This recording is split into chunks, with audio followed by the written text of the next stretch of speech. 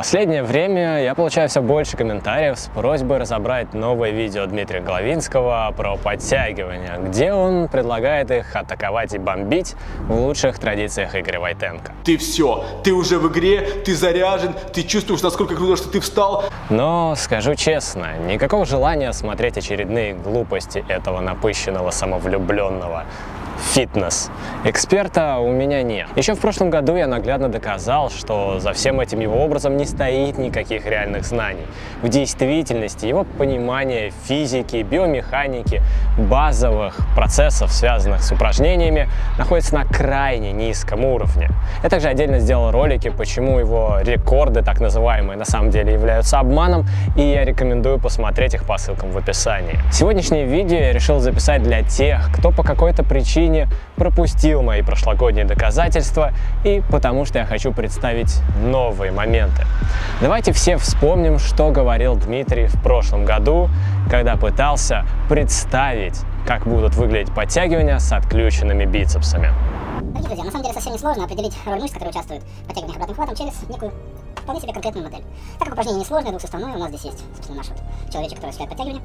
У нас есть как раз таки соблюдение условий, которые обозначал в своем видео Кучумов. То есть у нас жестко зафиксировано предплечье, у нас движение осуществляет тело. При этом у нас есть подвижные локтевой и плечевой суставы. А в качестве мышц мы используем резиночки. То есть видно, что мы реализовали в данной ситуации широчайшие мышцы спины. Вот они. Видно их, соответственно, точки крепления. А также видно, что мы реализовали и бицепсы тоже видно их точки крепления. В данной ситуации модель находится в том состоянии, в каком она находится в случае сокращения мышц. Если мы вот так вот ее оттянем, то видно, что человечек у нас прекрасно выполняет подтягивание и никаких сложностей у него не возникает. Вот она модель в готовом виде. И давайте сейчас произведем ключевое изменение и уберем бицепс. Вот мы снимаем бицепс с его точки крепления в районе кривовидного отростка лопатки. И что же у нас в итоге произойдет? Мы потеряли точку фиксации нашего предплечья. У нас человечек, даже при условии полностью сокращенной широчайшей мышцы, не может находиться, не может удерживаться в положении, в том, в котором он должен находиться. У меня происходит вот такой вот довольно существенный слом, назовем это так. Даже если мы здесь приложим усилия и выполним подтягивание, то у нас видно, что оно категорически не получается. Человечек, видно, оказывается в итоге вниз головой. И выполнить подтягивание в таком виде абсолютно невозможно. И выполнить подтягивание в таком виде абсолютно невозможно. И демонстрация подобной модели для иллюстрации своих слов является наглядным доказательством того, что Дмитрий не имеет ни малейшего представления о ньютоновской механике. Возможно, в то время, когда ему учитель рассказывал про центр тяжести, он прогуливал уроки в качалке или где-то витал в облаках. Но в любом случае именно центр тяжести будет выступать стабилизирующим элементом в данной конструкции. А поскольку у его человечка этот центр тяжести смещен, то мы видим именно то, что с ним и происходит, и ноги у него почему-то взлетают в небо. Я уверен, что любой зритель этого канала, который наверняка пытался сам делать передний вис, понимает, что нельзя сделать передний вис просто расслабив свой бицепс. Ноги от этого в небо улетать не будут.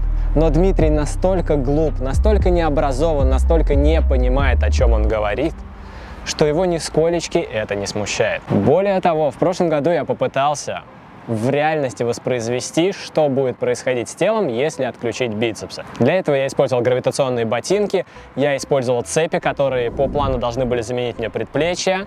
Соответственно, ботинки иллюстрировали работу в локтевом суставе и показал, что если бицепс вообще не работает, то подтягивание будет выглядеть точно так же. Люди, обладающие критическим мышлением, обладающие определенными знаниями в области физики, естественно, поняли, что мое доказательство это наглядная демонстрация того, как все и будет. К счастью для Дмитрия, большинство его аудитории не обладает мозгами. Они тупые и они слепо верят тому, что им говорит их главный, и не ставят под сомнение его слова. К сожалению, к сожалению, это очень и очень плохая тенденция, потому что чем меньше людей, которые ставят под сомнение то, что им говорят, тем хуже будет ситуация в мире. Я не смог найти человека, у которого не было бы рук, но я нашел человека, который подтягивается и которого нет одной руки, то есть бицепс у него физически отсутствует и не может никак повлиять на подтягивание. Согласно теории Дмитрия Головинского, при этом у него ноги должны задираться куда-то там в небо. Поскольку бицепса нет, остается одна рука с одним бицепсом, стабилизировать все гораздо сложнее, ведь бицепс это у нас главный стабилизатор. Но в действительности Давайте сами посмотрим. Pull-ups real quick. Go ahead and do two pull-ups. Notice his hollow position.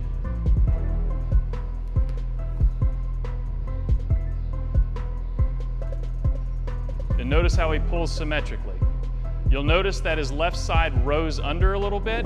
Если у кого-то после просмотра этого видео возникает глупая мысль, что отключив вторую руку подтягивания изменятся, я предлагаю вернуться к школьному курсу физики, сесть за учебники, перестать смотреть всякую ерунду на ютубе, перестать играть в компьютерные игры, перестать смотреть сериалы и заняться самообразованием, потому что, ребята, ребята, вам не хватает базовых знаний, вещей, которые должен понимать любой человек. Именно поэтому их и дают в школе, чтобы вы не были такими глупыми. Если убрать вторую руку, ничего в подтягиваниях не изменится, они будут выглядеть точно так же. Поэтому люди, которые говорят, что подтягивание нижним хватом, оно на бицепс, ведь бицепс там очень сильно работает. Какую чушь вы несете? И это печально. Это печально. Печально, что люди вместо того, чтобы думать головой, вместо того, чтобы анализировать, слепо верят тому, что им говорит какой-то качок без образования, без знаний, каким-то образом, я думаю, ошибкой выжившего, добившийся более-менее значительных результатов, и люди просто готовы. Хотя, о чем это? Люди несли деньги Блиновской, несли миллиарды рублей Блиновской. Для того, чтобы у тебя были деньги, ну, в этом надо верить просто. Инфо-цыганщина процветает во всех направлениях, но мы будем с ней бороться. Научный подход, доказательная база, физика и основные принципы, базовые принципы, на которых устроен мир, это именно то, что даст нам понимание того, как все устроено, ребят. Если вы продолжаете его смотреть, то я не рекомендую тратить на него время. Человек не знает, о чем он говорит. Слушать его советы про подтягивание все равно, что слушать мои советы по, не знаю, жиму лежа. Хотя я сам меньше чем за месяц с пустого грифа поднялся почти до жима соточки, и, пользуясь случаем, хочу передать привет Юрию Спасу Кукотскому.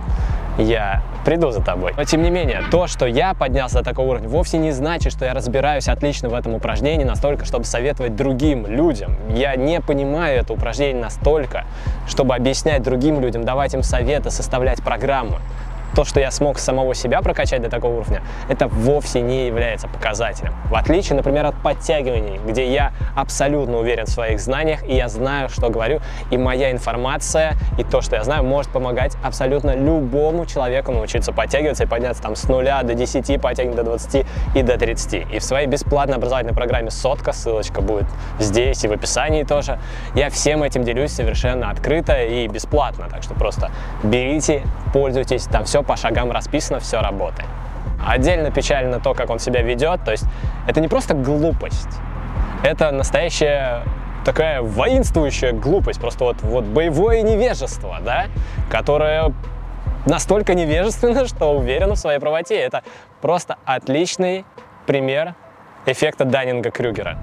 Эффект Даннинга, Крюгера – метакогнитивное искажение у низкоквалифицированных людей. Они делают ошибочные выводы и принимают неудачные решения, но не осознают этих ошибок из-за неполноты знаний умений и навыков, приходя к ложному определению пределов компетенций и завышению представления о своих способностях даже в незнакомых областях знаний и впервые совершаемых действиях. Я думаю, что после сегодняшнего видео у вас не останется вопросов относительно того, разбирается ли Дмитрий Головинский в подтягиваниях или нет. С вами был Антон, канал Street Workout. До встречи на уличных площадках вашего города. Пока! Греческий герой Тисей сплавал на Крит и победил там Минотавра. А когда вернулся в Афины, местные жители решили хранить его корабль в порту как памятник. Но вот проблема. Судно начало гнить, и в нем меняли доски. Но такие же, только новые, одну за другой. Со временем в нем не осталось ни одной исходной доски. Вопрос, является ли этот корабль кораблем Тесея или больше нет.